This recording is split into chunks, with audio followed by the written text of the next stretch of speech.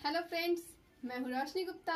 आप सभी का स्वागत करती हूँ हमारे channel fair and care tips में। हाँ आज मैं आपके लिए लेकर आई हूँ फ़ैशन के आसान से टिप्स क्योंकि फ्रेंड्स शादियों का सीज़न आने वाला है और हमेशा से ही लड़कियों को परेशानी होती है कि वे शादी या फिर किसी पार्टी में किस तरह के ड्रेस सैंडल शूज़ इयरिंग या फिर नेल पेंट लगाएँ। तो आपको परेशान होने की ज़रूरत नहीं है।